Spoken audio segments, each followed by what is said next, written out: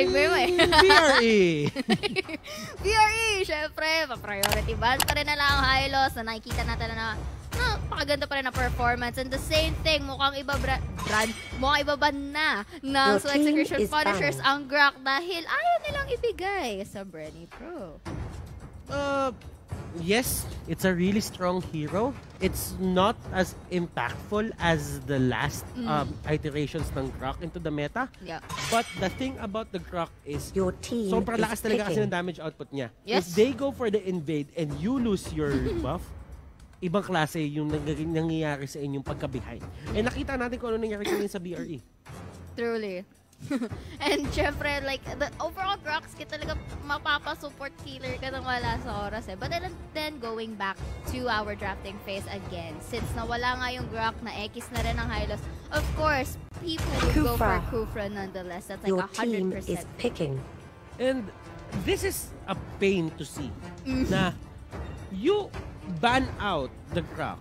Yes. Tapos ang mangyayari, kukunin lang nung kabila Yung gusto. yung Rapli, eh, yung, Yung yung, Rapli, yung Rafflesia. Rapli siya, tinawag ko ng Rapli siya, yung Cupra. Yung... And look at that, Rapli siya, nasa screen nyo na ngayon. Hindi ngiti. Oh, Kuprang- yes naman. Kuprang, Cupra. Kupra. Kuprang, Cupra. Esmeralda. Yes naman. At syempre na dahil nga pambawi. Mm. Kasi nga nakuha yung kupra nila. It is time na makita naman natin na to si um, Esme. Esmeralda. Si Si Esme. Si ate mo Esme. Tsaka si kuya mo Export. Okay. Esmeralda, I don't... Dumating na rin yung panahon, sabihin na lang natin, Oh. dumating na rin yung panahon na dahil sa kaka-nerf kay Esmeralda, Carry. humina na siya. Oo.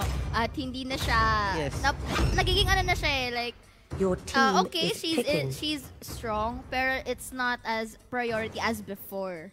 Mm. Talaga. Yun yun, yun yung ma, ma, pinakamagandang masasabi natin para kay ate mo Esme. Okay, then going back, of Palms. course, na dahil nga nakuha yung dalawa, syempre they would go for someone who is slowly scaling but Yeah. always gets the damage done. And one of which is of course the carry at syempre dahil hindi nga nabanto and is very used quite well, the Masha is up for grabs. Okay. Uh, right now, I feel uh, kailangan ng BRE ayusin yung draft nila dun sa may last two picks. Yes. Because right now, looking at Suwa Execution Punishers lineup, nakuha nila yung Esmeralda na gusto lumaban agad ng maaga. And uh, meron kayong team at meron kayong Masha sa lineup nyo.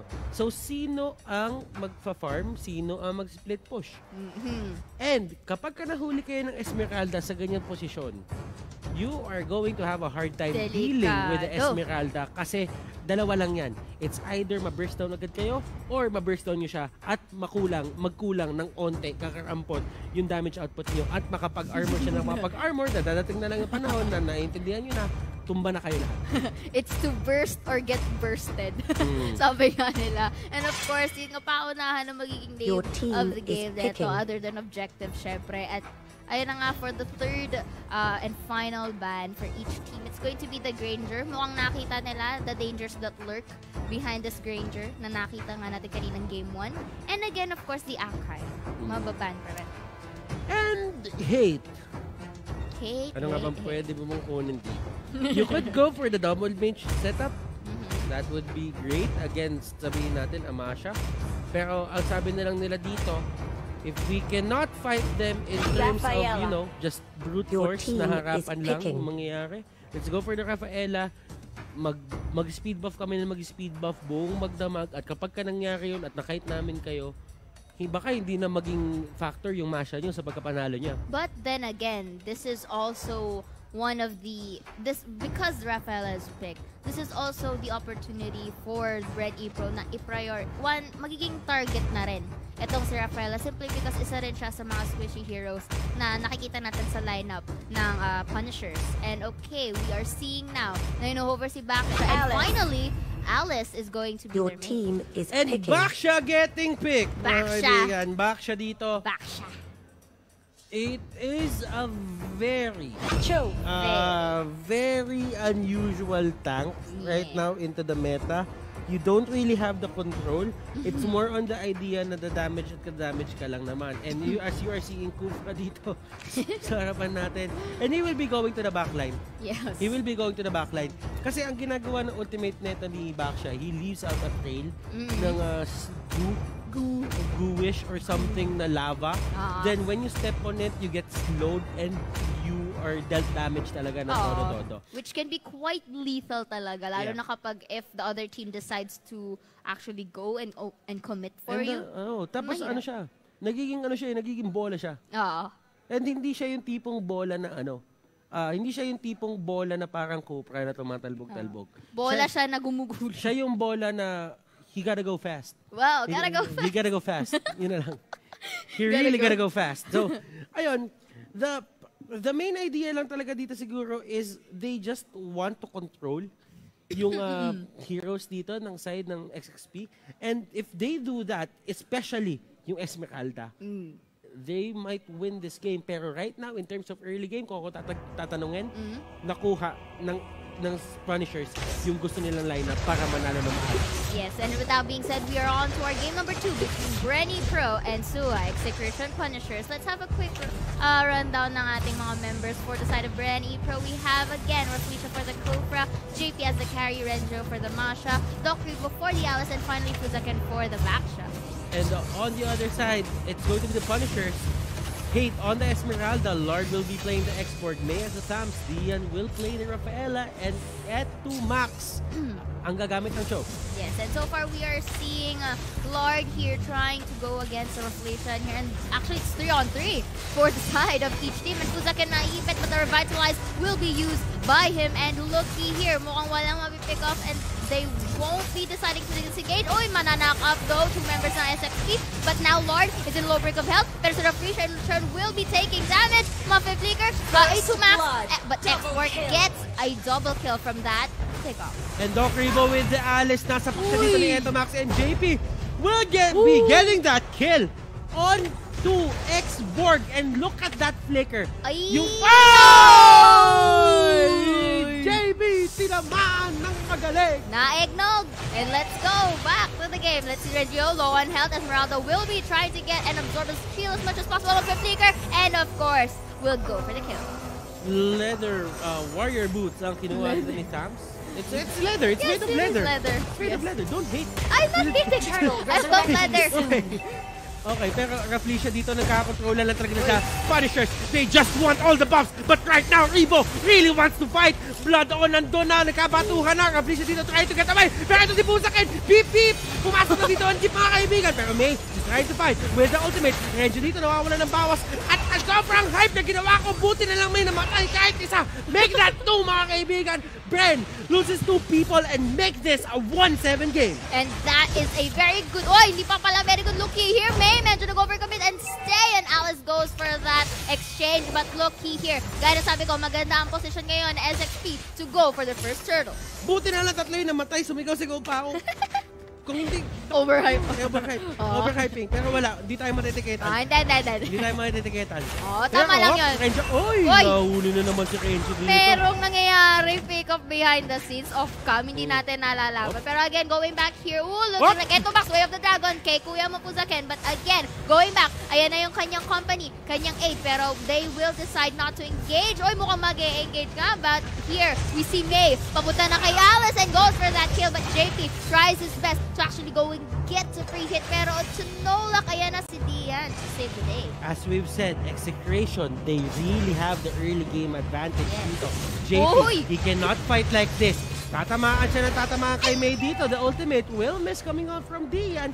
But the main concern here, okay, Uy! he got the kill. He got, got the, the kill. kill. Kumbaga yun yung tinatawag nating no look fade away. Yes, no look Power away. Rangers. No look fade away. yun.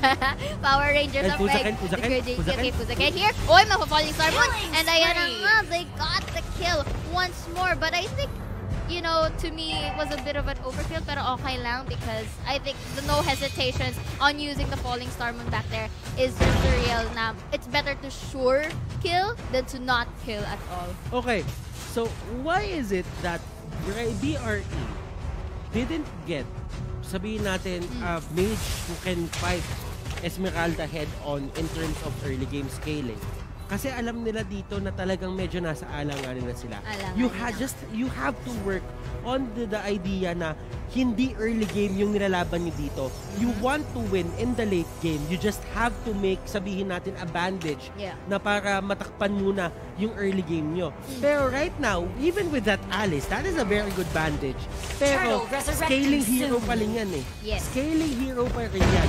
In terms of just getting the orbs and adding cooldown reduction onto your skills, scaling pa rin yan. Kailangan pa rin niyang Scale. Kailangan niyo pa rin mag-scale. And of course, for them to scale, they have to reach at a certain extent para mag they, they would turn the tides into their favor. But so far, we are seeing a good momentum coming from Slow Execution Hunters as they get that turtle. But looky here, Doc Ribo, may ipit ng dalawa. No, make it four people of Slow Execution Oh! Hunters. Frisha goes for that knockoff though, ladies and gents. Pero ayan now, we are seeing Rapisha though, bouncing ball his way out of the way. And JP tries to go and actually get to help. But Rapisha, no one help. Mega Mami kill. flicker to sa Esmeralda and yung magpa-falling Star Moon to actually tower dive. And now, looky here, Baksha rolling his way, but not enough to get actually to disengage. And Fuzakin dito, rolling in the deep.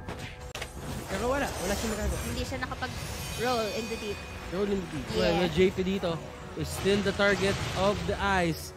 Is still the apple of the eyes Oh. dito ni Hate. Falling Star Moon, pero hindi. I think like I think she just called Star Moon para dun sa may torre. And Renjo here has no choice but to go back kasi kailanganin nata ang kanyang help dito para makapag-def. And again, Fuzaken here tries to throw away the minion waves here in Dokuibo arrival doon para para ma ano Hindi mo ba naiisip na Oh. baka yung ginagawa na pag-ikot ni Pusakin at yung binabato ni. Tams magkapatid? Pero bago natin mag-isipan yan, tumumba dito ang show. They get the objective or they get the pick-off na kailangan na kailangan na dito. But Kuya Hate, nandito sa may gilid. He Mm. really wants to fight. Renjo dito, hindi makapag-split push. Renjo dito, nag-trigger yung kanyang high-end eye. May nahuli din sa may baba. And this is going to be a good pick-off for them. Yes. Pick-off after pick-off after pick-off after pick-off dun sa may taas. Mapipick off din, makukuha din. Ah, yung sir. Yung Torre yung pick off. Pero it was a very good job though. Even though na, na pick off tong si May, it still, it was a good chance to delay time para ma-push nga nila itong top side. And Renjo here trying his best para sila naman na mapag-push. Kasi kung papansinin mo Kuya Butters, wala pang napo-push ang Ren E Pro. Feather of Heaven nakuha na ni. Kuya Hate. Yeah. That means it's going to be uh, a really hard fight in terms on the side of BRE. Pero may isa kasing panlaban sila dyan. Alin? Yung disarm ni Masha. The thing Pwede. about yung disarm kasi ni Masha dito is if Esmeralda uses yung kanyang mga yung mga whip niya, watch No me whip. whipping. Watch me nay-nay. kailangan niyang kailangan niyang magamit yung physical attack niya to get the trigger and the calamity reaper. Yes. Kapag ka hindi Oh. mapindot yun, minus damage yun sa kanya pero doon sa may gitna mga kaibigan nakuha ni Rivo. Rivo dito will get the kill. Ooh, and then ang uh, Esmeralda going for the unstoppable Lord has to go back at the try niyang going, going back here into the team fight here. Hate will may bigger, gitna! but now look at the middle side of the lane. Towns will be pushing onto the middle side of the turret and Basha will be getting an exchange, but up to what cost? Doc Rivo low on HP si syempre si Esmeralda kukunin at ito take advantage. Falling Storm will get for another pick up and ladies and gentlemen, mukhang decided. Hindi pa ata decided because Masha still gets a pick up, but again, up to what? Exchange. Again, Cooper here, nag-charge just to show away the members of Punishers. BRE getting three kills, two kills in exchange in almost as exchange for the game. Yes. Wow! Sulit! Sulit na trade. Pero, XSP dito, it's, it's ano eh, it's a showing na kahit apat lang kami, kaya talaga namin Oo. kayo lahat eh. Paano pa kaya pag naging kompleto na And sila? yun yung lineup nila eh. Mm. Yun yung laban nila. They initially got, like what you said, yung pinaka-lineup na gusto talaga nila because they have Up, up, that May, again. May, Advantage, May, Advantage, May! Maiipit ng tatlo. And of course, looks like this is going to be a pick-off for, oy, mukhang hindi! Oh! Oy, pero napang-box niya si Kuya JP with a low break of health and company ng Punishers ay pupunta para mas-slay to si Kari and True goes for the kill. And again, X-Borg, doon, look here the to and fro ng camera natin. There is kills, kills everywhere, Kuya Bot. They really took a long time to take down that Sams. And Yes. that will haunt them in the end. Execration dito, the Punishers Are will punishing. punish that. And Doc Ribo dito, gusto pa Oh! lumaban. Ay, nako! Ang dami na uli. Binato siya ng bulalakaw dito mga kaibigan. Pero gumaglaban pa Renzo dito. The ultimate is still there. Blood off. Sustaining him. Renzo dito still really wants to fight. Pero Punishers will just go back. Lord, Yes, this time I think soon. the Punishers will be patient enough to get this at, uh, to attempt on getting the Lord here. Pero ang galing because the Alice was able to defend their two one of the two remaining turrets that they have. At gaya nga nasabi ko, magpa-prioritize ang Punishers to get this Lord nang matapos na potentially ang game na ito. Ito na si But- Pusakin! Drive-by! Drive-by! Ay! Nagaw niya! Nagaw niya! Oh my goodness! Look at that play! And ayan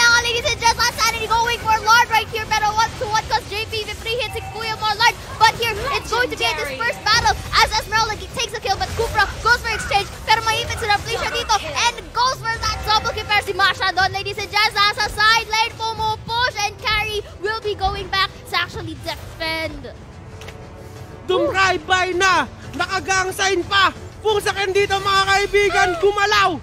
Like a hunter in the night! Oy! Speaking of Butter in the. Night, Masha here trying to actually get a pick up right there. But look here, mga katapusin na. ng Walang arrival! Walang arrival! Ladies and Naku po! oh! Walang arrival mga kaibigan. Game number two goes to Punishers.